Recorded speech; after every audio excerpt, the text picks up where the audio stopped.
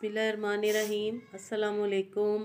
आज हम बना रहे हैं वेजिटेबल सीख कबाब, जो कि बहुत ही मज़े के बनते हैं और जो लोग गोश्त नहीं खाते, उनके लिए तो ये रेसिपी बहुत ही ज़बरदस्त है। तो चलिए हम बनाना स्टार्ट करते हैं। वीवर्स वेजिटेबल सीख कबाब बनाने के लिए मैंने लिए हैं चार से पाँच अदद बॉयल पोटैटो। उनको मैंने अच्छी तरह बॉयल करके मैश कर लिए। एक पाव मटर लिए थे, उनके दाने निकाल के उनको भी बॉयल करके मैश कर लिए। साथ में है प्याज हरी मिर्चें धनिया और एक गाजर उसको मैंने कश करके रख लिए। आपने मटर इस तरह कांटे की मदद से मैश। कर लेने हैं। मटर आपने सारे दाने अच्छी तरह मैश कर लेने हैं और आलू भी अच्छी तरह मैश होने चाहिए। आपको कोई मशीन में डालने की ज़रूरत नहीं ये हाथ से या फोक से आसानी से हो जाते हैं। अब हम जो हमने मटर मैश किए थे उनको आलूओं में मिक्स करते हैं।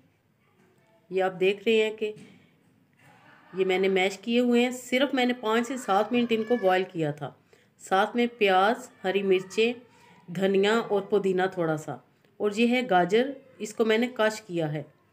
आपने गाजर को बॉईल नहीं करना। वन टीस्पून नमक डाला। है वन टीस्पून कुटी लाल मिर्च। हाफ़ टी स्पून काली मिर्च।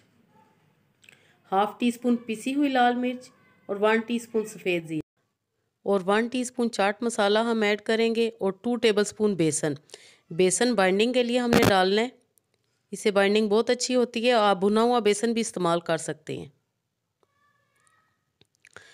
और अब ये मेरे ख्याल में स्पैचुला से मिक्स नहीं होगा। हम हाथों से मिक्स करेंगे। सारी रिंग्स वगैरह आपने उतार लेनी है और हाथ अच्छी तरह आपके साफ़ सुथरे होने चाहिए। और हाथों की मदद से अच्छी तरह हम बाइंडिंग करेंगे। मिक्स करेंगे अच्छी तरह। वीवर्स आपने आलू, मटर और गाजर की सब्ज़ी तो खाई होगी, लेकिन इनके सीख कबाब आपने कभी नहीं खाए होंगे। यकीन माने, ये बहुत ही मज़े के बनते हैं, आपने ये ज़रूर ट्राई करने हैं। इस तरह हम कबाब को शेप दे लेंगे, जिस तरह के सीख कबाब होते हैं, और आपको कोई सीख पे चढ़ाने की ज़रूरत नहीं है, और ना ही किसी स्कीवर्स वगैरह पे। हम एज़ इट इज़ सीख कबाब बनाएँगे हाथों की मदद से, इस तरह। एक ही साइज़ के आपने सारे सीख कबाब बनाने हैं, छोटे बड़े नहीं बनाने। इस तरह आप ये देख रहे हैं कि एक ही साइज़ के मैंने सारे कबाब बना लिए हैं और अब हम इनको फ्राई करेंगे। वेजिटेबल सीख कबाब की रेसिपी अगर आपको पसंद आए तो थम्स अप ज़रूर करें और चैनल पे नए हैं तो सब्सक्राइब भी कर दें। अब हम कबाब फ्राई करते हैं। फ्राइंग पैन में ऑयल डाल दिए, हमने डीप फ्राई नहीं करने, हमने शैलो फ्राई करने हैं। और कबाब आपने एहतियात से डालने हैं इस तरह, ये बिल्कुल भी नहीं टूटेंगे।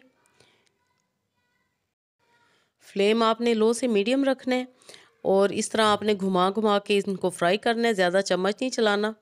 और इनका टाइम हार्डली पाँच से सात मिनट है, क्योंकि आलू भी बॉयल हैं, मटर भी बॉयल हैं। और कोई भी इनमें चीज़ कच्ची नहीं है।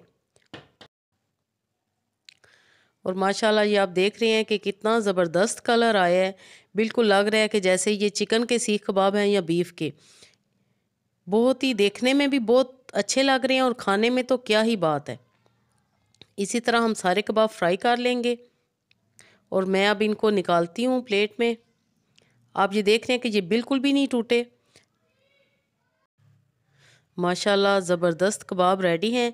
वीवर्स कबाब की मैंने काफ़ी वैरायटी आपको दी है और उनमें से ये एक न्यू रेसिपी थी जो कि मैंने आपके साथ शेयर की है। तो आपने फ़ीडबैक मुझे ज़रूर देना है कि आपके वेजिटेबल सीख कबाब कैसे बने।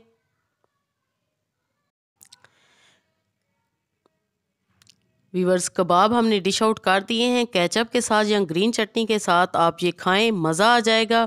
अपना और अपने प्यारों का ख्याल रखिए। थैंक्स फॉर वाचिंग अल्लाह हाफिज़।